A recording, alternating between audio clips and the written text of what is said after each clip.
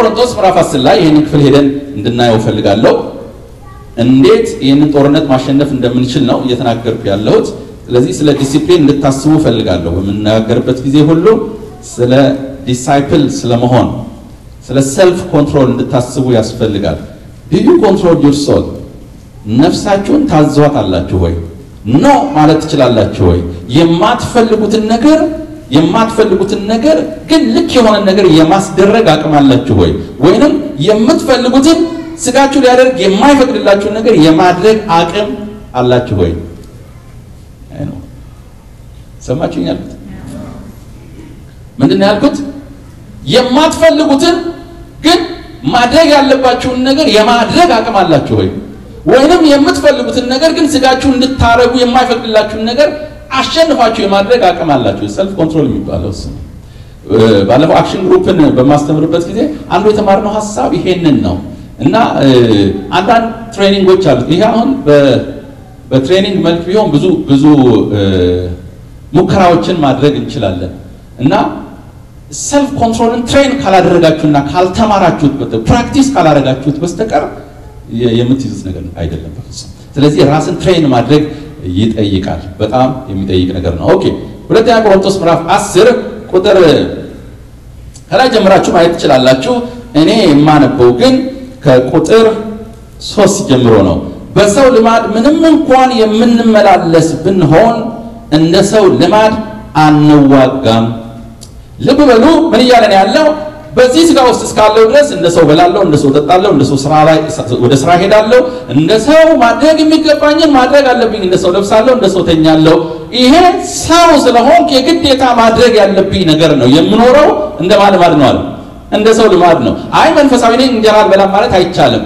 መብላት አለብን በስጋ ለመኖር ማለት ነው። ያንን ነው የሚናገረው ጳውሎስ። በማንኛውም ሰው ላይ ስራ ገብቶ መስራት እንዳለበት ክርስቲያንም ብንሆን እግዚአብሔር ቢባርከንም ግን ስራ ገብቶ መስራት ግዴታችን ነው። ይሄ ሰዋዊ ኑሯችን ነው። ግን ከዛ በኋላም ይላል እንደ ሰው ልማድ ግን ምን አናደርግም አንዋጋም ማለት I mean በስጋ ህይወታችን ላይ እየሰማችሁ ነው። በስጋ ህይወታችን ላይ ለሚገጥሙን ማንኛውም challenge ና problem ኦች በሙሉ ግን ምላሽ የምንሰጠው እንደ ስጋዊ ሰው አይደለም፣ እንደ መንፈሳዊ ሰው ነው እንጂ ይላል። እዚህ በህይወታችን ላይ ለሚገጥሙን ስጋዊ ገጠመኞቻችን፣ ችግሮቻችን፣ challenge ኦቻችን ስጋዊ መልስ አይደለም የምንሰጠው ነው የሚለው ጳውሎስ። ምን አይነት መልስ ነው የምንሰጠው? መንፈሳዊ መልስ ነው የምንሰጠው። ስራ ባይኖረን መልስ የምንሰጠው እንደዛ ነው። ሰዎች ቢሰድቡን የምንሰጠው መልስ የዛን አይነት ነው ማለት ነው። ስደት ቢመጣብን የምንሰጠው መልስ መንፈሳዊ ነው። ሲሰድቧችሁ መልሳችሁ ተሳደቡ አይልም። መሰደባችን ስጋዊ challenge ኣችን ነው። መልሳችን ግን ምን መሆን አለበት? ባርኩ ስለሚል ይባረክ። ስትሰደዱ ምን አድርጉ ነው የሚለው? መርቁ ነው የሚለው። ስደት ሲመጣ አሳዱ አይደለም የሚለው መጽሐፍ ቅዱስ በተነ ነው የሚለው መጽሐፍ ቅዱስ። ስለዚህ saving account ኣችን ውስጥ ያለው ገንዘብ አይደለም የሚያኖረን። ምንድን ነው የሚያኖረን? የሰጠነው ገንዘብ ነው።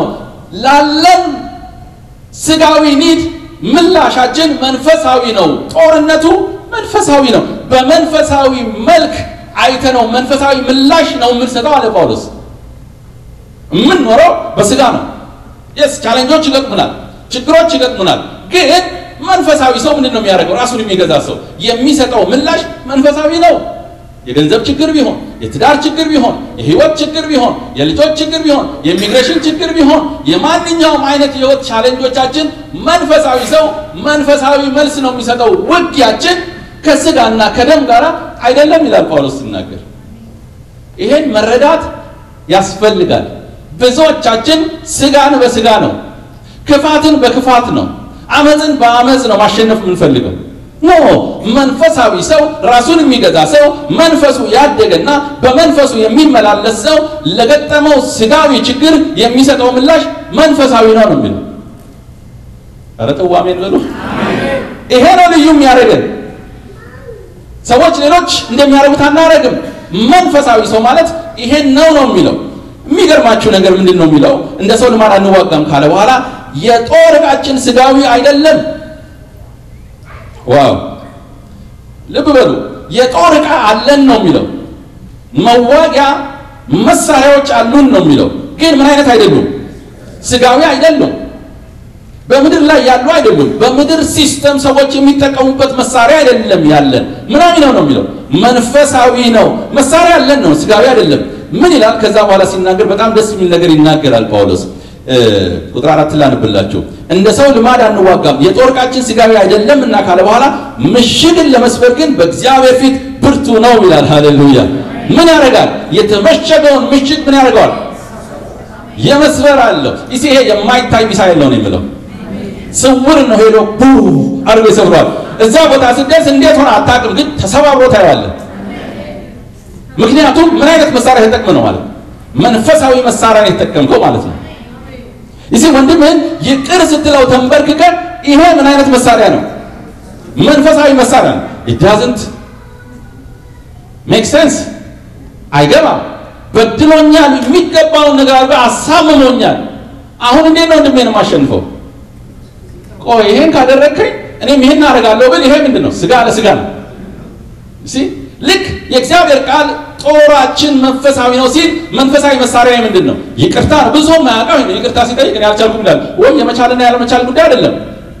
to win ይሄንን ጦርነት ምንድን ነው የምትዋጋበት መሳሪያ? ስጋዊ ከሆነ ጦርነቱ ይቀጥላል ለዘላለም። ዛሬ እሱ ያሸንፋል፣ አንተ ታሸንፋለህ፣ አንተ ታሸንፋለህ፣ ከዛ ያሸንፋል። እድሜ ልክ ስትዋጋ ነው የምትኖረው። ድምጥ ማጡን የሚያጠፋ መሳሪያ ምንድን ነው?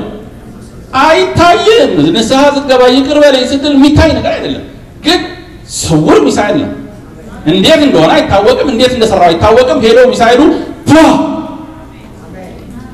ነገ ስትመጣ ወንድሜ ይቅር በለኝ ብሎ ይመጣል። እሱን ልብ የሚነካ መንፈሳዊ መሳሪያ ነው ይላል ጳውሎስ ይላል ጳውሎስ። እንዴ ሰው በገንዘብ ሲቸገር ገንዘብ የለኝም ሲል ይሄ ስጋዊ ችግር ነው፣ ስጋዊ challenge ነው የገጠመኝ። ያ ስጋዊ challenge ሲገጥመኝ ምንድን ነው የማደርገው? መንፈሳዊ የጦር መሳሪያ አለ። ምንድን ነው የጦር መሳሪያው? በተነ፣ ለችግረኛው ሰጠ።! መንፈሳዊ ጦርነት ነው። መንፈሳዊ መሳሪያ ያ ነው። That how I fight። ያ እንደዛ ነው የምንዋጋው። ይሄን ነው የሚናገረው። ይህ በሰው ዘንድ ሲታይ ሞኝነት ሊመስል ይችላል። በእግዚአብሔር ዘንድ ግን ብርቱ ምሽግን የሚያሰብር የሚሰብር ኃይል ነው ይለዋል። ኧረ አትቀልድ አንተ እንዴ! ወጥም እንጂ በዚህ ጊዜ saving ማድረግ ነው ሲል ስጋ መንፈሳዊ ሰው ራሱን control ማድረግ የሚያስፈልገው እዚህ ላይ ነው። ምክንያቱም this is reality። የለህም ገንዘብ፣ ነገ የምትከፍል የቤት ኪራይ አታውቅም። ነገ ለመኪና ኢንሹራንስ፣ ለመኪና ቤንዚን ምን እንደምታገኝ አታውቅም። ስለዚህ ያንን calculate አድርጎ ችግርን ተራራ እያሳከለ ሲያሳይ No no no ይሄ ስጋዊ ችግር ነው፣ መዋጊያዬ ግን መንፈሳዊ ነው። ስለዚህ አስራቴን አልከለክልም ብለህ አስራትን ትሰጣለህ።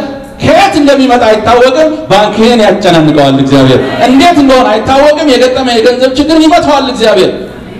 this is how መንፈሳዊ መሳሪያ አለን ይላል። ይሄ መንፈሳዊ መሳሪያ ደግሞ ምን ያደርጋል ይላል? ምሽግን ለመስበር በእግዚአብሔር ዘንድ ይላል። ሲጮሃቸው በእግዚአብሔር ዘንድ በሉ።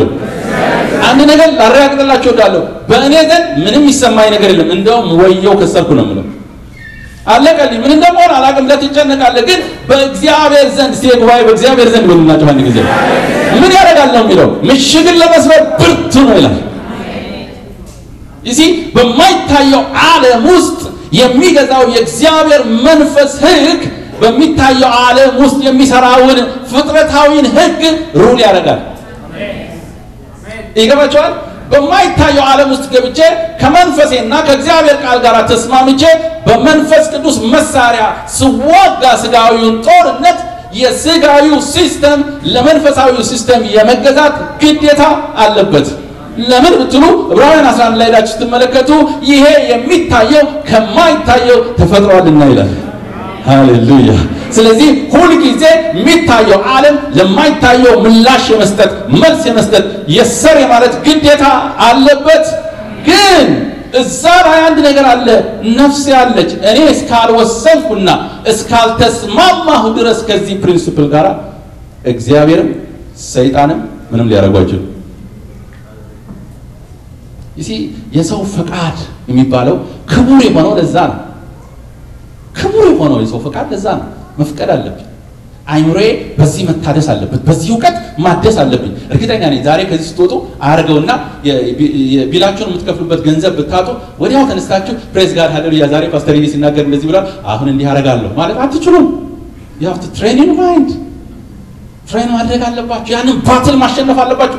Everyday መዋጋት አለባችሁ። Everyday እንደ እግዚአብሔር ቃል ማሰብ በመስታወቱ ላይ ማንነታችሁን እያያችሁ እኔ እንደዚህ ነኝ የምዋጋው እንደዚህ ነው ብላችሁ በመንፈስ ቅዱስ እርዳታ የዛ ነገር ብርሃን ሲበራላችሁ ብቻ ነው ያን ህይወት መኖር የምትችሉት። ከዛ ውጭ ግን መንፈሳዊውን ህይወት መኖር ዘበት ነው ወገኖቼ። ፈለግነውን ያህል ጥቅስ እንችላለን። ፈለግነው አይነት የተቀባን አገልጋይ ሊሆን እንችላለን። የፈለግነው አይነት ጸጋ ሊገለጥብን ይችላል።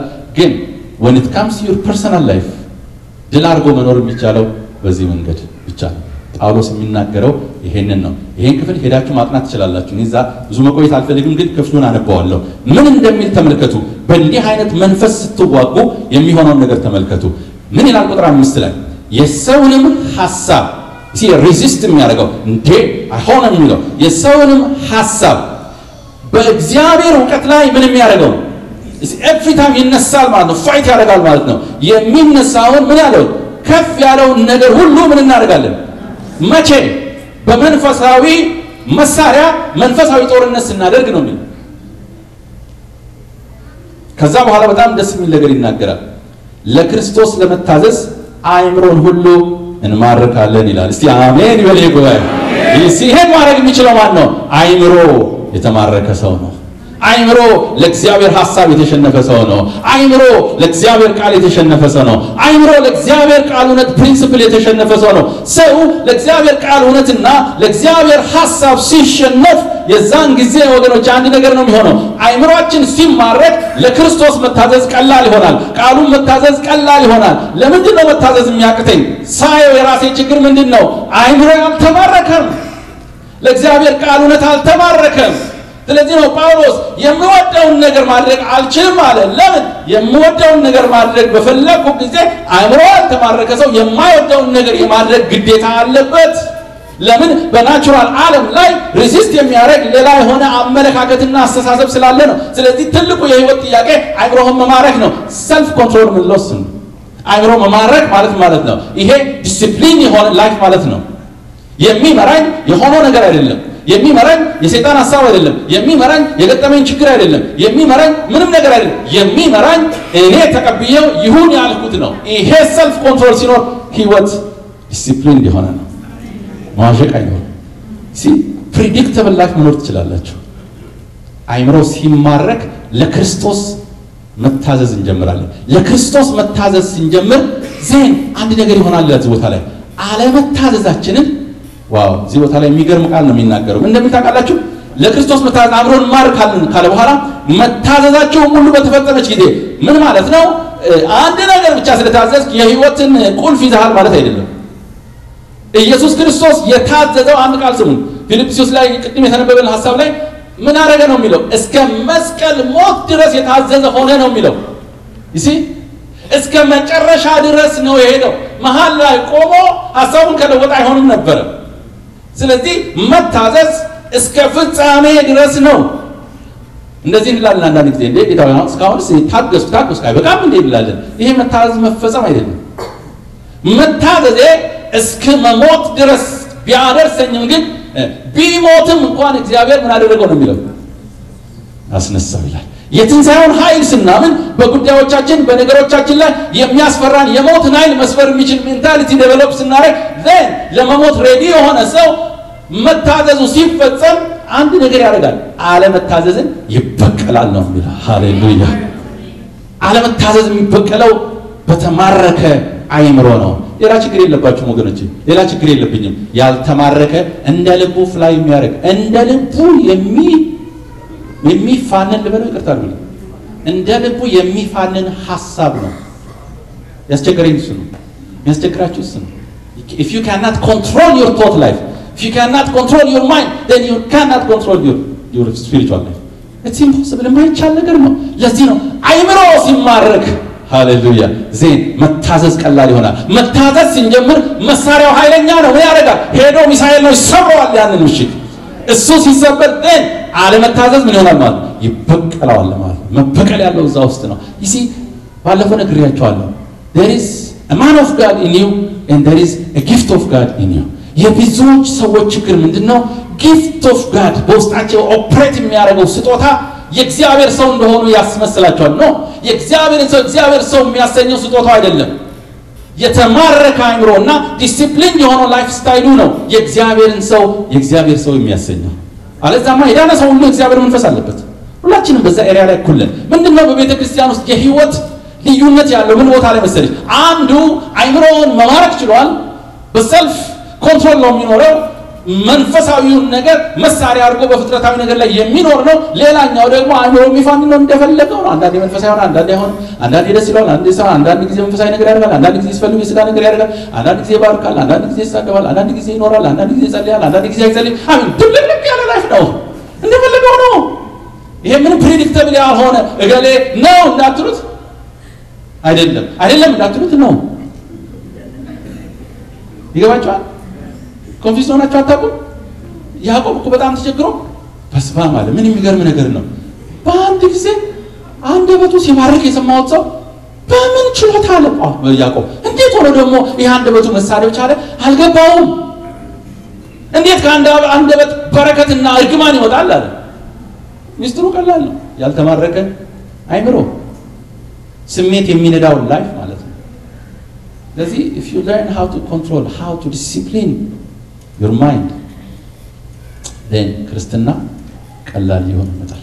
ለዚህ ነው መንፈሳችን ላይ ቢሆን እግዚአብሔር የሰራው ስራ ስጋችን ላይ ስጋ የራሱ መሻት አለው። ኃላፊነቴ አይምሮዬ ላይ ለምን እግዚአብሔር የእውቀትን መንፈስ ሰጥቶናል። እግዚአብሔር ስሜትን ሰጥቶናል። በነገራችን ላይ ይህን ስሙኝ።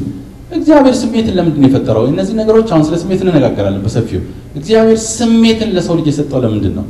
የማስበውን እንዳውቅ ነው። ስሜት አእምሮ ውስጥ ያለውን ሀሳቤን የምረዳበት reality ነው። okay ማዘናችሁን በምንድን ነው የምታውቁት? በስሜታችሁ ነው። ግን ያሳዘናችሁ ስሜት አይደለም ያሳዘናችሁ፣ የሆነ some kind of knowledge ነው። ባለፈው ነግሬያቸዋለሁ። አንድ ሰው እናትህ ሞተች ቢባል immediately በምንድን ነው ሀዘን ውስጥ የሚገባው? የሰማው information ነው አይደል? የሀዘን የደስታ positive ሆነው negative ስሜቶቻችን እግዚአብሔር የሰጠን ለምንድን ነው? ለአንድ ጉዳይ ነው። አእምሯችን ውስጥ ምን እንደምናስብ ወይም አእምሯችን የሚገዛው ነገር ምን እንደሆነ እንድናውቅ ነው። በስሜት እንድንመራ አይደለም። ስለዚህ if you have wrong feeling then wrong thinking አለ ማለት ነው። እየሰማችሁ ነው። ስለዚህ wrong feeling ን ለመለወጥ አረ በኢየሱስ ብል አይሄድም። wrong feeling የሚለወጠው በ right thinking ነው። ይሄ ግን ዝም ብለህ praise God ዛሬ ይችላሉ ስላልክ አይሆንም። you have to train your mind because ጦርነት ስላለ ዝም ብሎ ስጋ አይለቅም። fight አድርጋ እስከ ደም መፋሰስ ድረስ ይሄዳል፣ አይለቅም።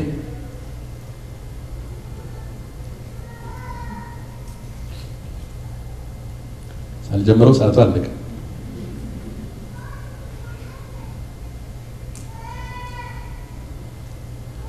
ወገኖች የሰው አእምሮ the most important thing በሰው ሕይወት ውስጥ ሰው ፈቅዶ ነው የሚድነው፣ ፈቅዶ ነው እምቢ የሚለው salvation። ሰው ፈቅዶ ነው የሚጸልየው፣ ፈቅዶ ነው የማይጸልየው። እግዚአብሔርን አስገድዶን ሰይጣን አስገድዶን አይደለም። ፈቅደን ነው church የምንመጣው፣ ተገደን አይደለም። unless we are possessed በሰይጣን መንፈስ possessed ከሆነ የሰው will ምን ሆነዋል ማለት ነው? control ሆኗል ማለት ነው። ክርስቲያን ግን ሰይጣን ውስጡ ስለማይገባ ፈቅዶ ነው። ምንድን ነው እንዲመጣም እንዳይመጣም እንዲያገለግል እንዳያገለግልም።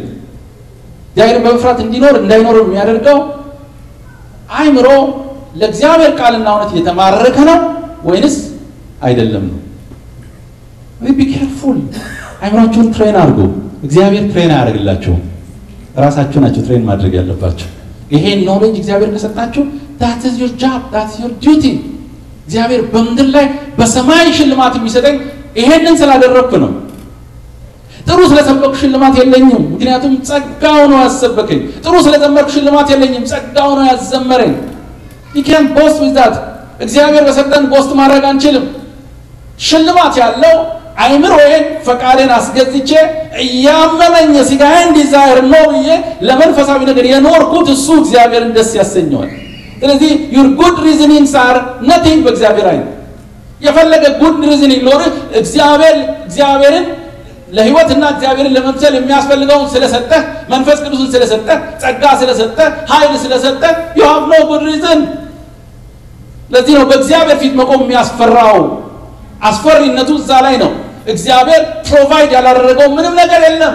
አሁን ብዙዎቻችን ቁስላችን እየታከከ it's okay ጌታ understand ያደርጋል። እግዚአብሔር understand አያደርግም። ይሄንን አያደርግም። ጌታ ድካሜን ያውቃል ያውቃል፣ ግን ጸጋውንም ሰጥቷል እኮ እግዚአብሔር መንፈሱንም ሰጥቷል እኮ ኃይሉንም ሰጥቷል። ይሄን እንዴት understand ያደርገው እግዚአብሔር እንዴት አድርጎ understand ያድርገው? ይህንም ያህል መንፈስ ሰጥቶን ይህንም ያህል ቃል ሰጥቶን፣ የስ መሳሳት አለ። ተሳስቼ ስወድቅ እግዚአብሔር ምንድን ነው? I'm sorry ብዬ እቀርባለሁ በፊቱ። ያንን እግዚአብሔር understand ያደርጋል። then I have to move on ግን አይ ድካሜ ነው ብዬ በዛ ላይ ከተቀመጥኩና እምቢ ካልኩ responsibility ን በምድር ላይ እግዚአብሔር የሰጠኝ ያንን personality ን መቅረጽ ካቃተኝና መኖር judgment የሚጠብቀው ለክርስቲያን እግዚአብሔር በሰጠው ጸጋና እውቀት መኖር እንዲችል አእምሮውን train ባለማድረግ ይመስለኛል።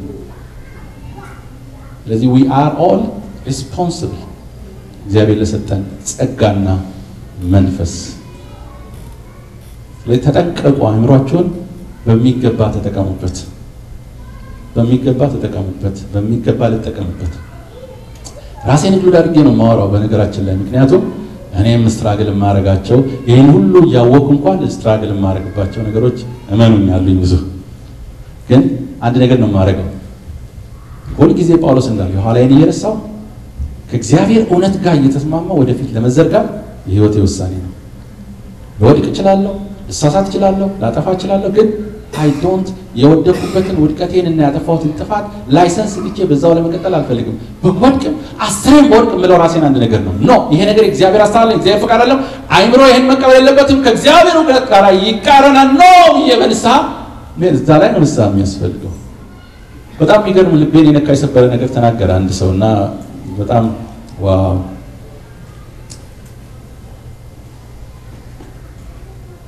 አንዳንድ ጊዜ አንድ ቃል ይበቃል ህይወታቸውን transform ለማድረግ። እና ምን አለ? ሰይጣን በሰው ህይወት ላይ በሰው ውስጥ ክፉ ሀሳብን በማስገባት ኢንፍሉዌንስ ያደርጋል ወይም ያነሳሳዋል ሰው።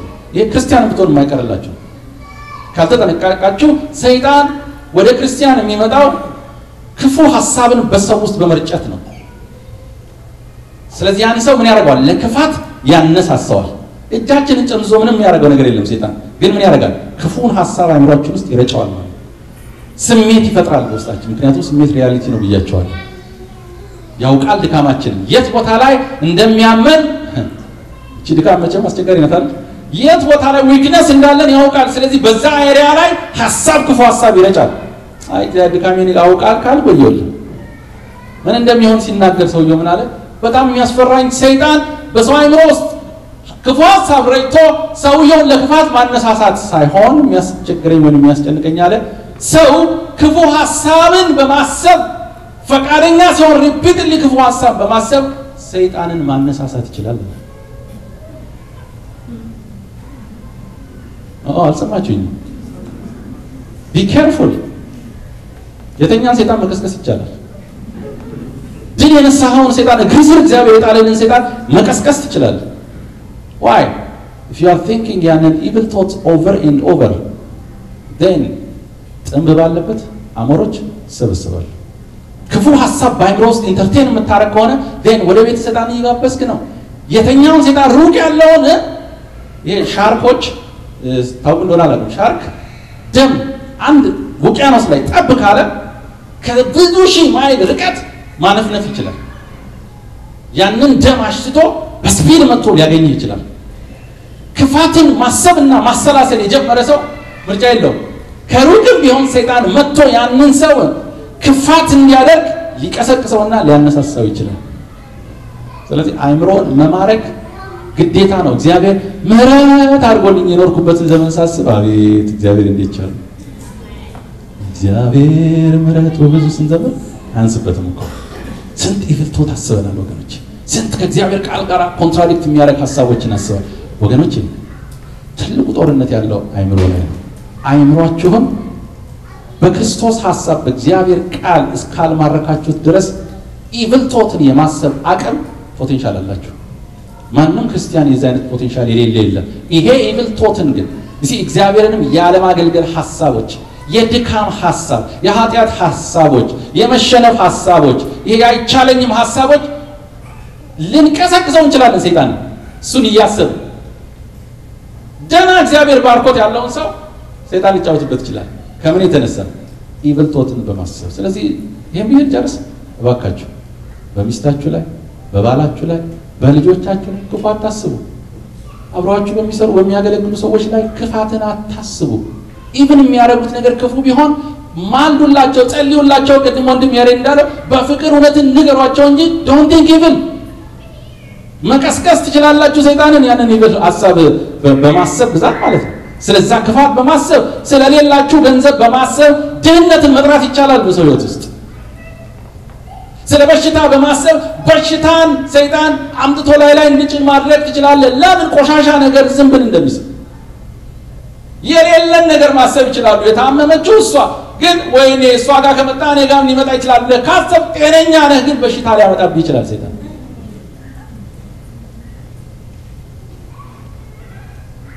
ስለ ባላችሁ ስለ ሚስታችሁ ክፋትን በማሰብ ቤታችሁ ውስጥ ክፋትን አትጋብዙ። even ክፋትን ስታዩ መልካም ነገር አስቡ። አምላኬ ይህንን ታሪክ ይለውጣል በሉ። እግዚአብሔር ይህን የሞተ ነገር ያስነሳል በሉ። ለምን ክፉን ነገር የምናሸንፈው በመልካም ስለሆነ፣ ክፉን በክፉ አናሸንፍም። ክፉ በመልካም ነው የሚሸነፈው። ስለዚህ ክፉ ሊሆን ይችላል ያ ባል እያደረገ ያለው ወይ ያቺ ሚስት ክፋትን እያደረገች ሊሆን ይችላል። ዋዲ ሂዱ እግዚአብሔር ወይ ስለ ባል ያመሰግንሃለሁ። የሰጠኸኝ ባል የተባረከ ነው። ያንተ መንፈስ ያለበት ነው። ያንተ እጅ ያለበት ነው። አንተ ከእሱ ጋር ስለሆን ስለምትረዳው አመሰግንሃለሁ ስትል እላው ላይ ያለው ነገር ተኖ ይሄዳል። ለምን ምሽግን ለማፍረስ ብርቱ ነዋ። መንፈሳዊ ጦርነት ነው። መቼ ነው እሱ ኧረ አይለወጥ ምናምን ካልክ ታባብሰዋለህ። በቁስል ላይ እንጨት ስደድበት ነው። እግዚአብሔር አእምሯችንን በመማረክ ይባርከን። ተነስተን እንጸልያለን። በሰማችሁት መልእክት እንደተባረካችሁ እርግጠኛ ነኝ። የእግዚአብሔር መንፈስ እንደተናገራችሁ አምናለሁ። ምናልባት ደግሞ ሕይወታችሁን ለጌታ ለኢየሱስ ክርስቶስ አሳልፋችሁ ያልሰጣችሁ ለመዳናችሁ እርግጠኛ ያልሆናችሁ ሰዎች ካላችሁ አሁን ከዚህ በኋላ ብትጸልዩ ከኔ ጋራ የዘላለምን ሕይወት ማግኘት የምትቀበሉበትን መንገድ ላሳያችሁ እችላለሁ። አብረን እንጸልይ። እግዚአብሔር አምላክ ሆይ ስለ ተናገርከኝ በቃልህ አመሰግናለሁ። ዛሬም ሕይወቴን ላንተ ለመስጠት እወዳለሁ። ኢየሱስ ክርስቶስ የሕይወቴ ጌታ እንዲሆን የልቤን ደጅ ከፍታለሁ። ኢየሱስ ክርስቶስ እግዚአብሔር ስለ እኔ እንደላከው በመስቀል ላይ ስለ እኔ ኃጢአት እንደ ሞተ እንደ ተቀበረ በሶስተኛውም ቀን ከሙታን እንደ ተነሳ ከልቤ አምናለሁ። አንድ ቀን ደግሞ በክብር እንደሚመለስ ይህንንም አምናለሁ። ጌታ እግዚአብሔር ሆይ ወደ ሕይወቴ እንድትገባ ሕይወቴንም እንድትረከብ ለአንተ ሕይወቴን አሳልፌ እሰጣለሁ በኢየሱስ ስም። ይህን ጸሎት ከጸለያችሁ ወደ እግዚአብሔር መንግስት እንደገባችሁ ላረጋግጥላችሁ እወዳለሁ። እባካችሁን በቅርባችሁ ወዳሉ አብያተ ክርስቲያናት በመሄድ ሰዎች ሊያሳድጓችሁ እንዲችሉ ወደ መጋቢዎች፣ ወደ ፓስተሮች ሄዳችሁ ምክር እንድጠይቁ አሳስባችኋለሁ። እግዚአብሔር ይባርካችሁ።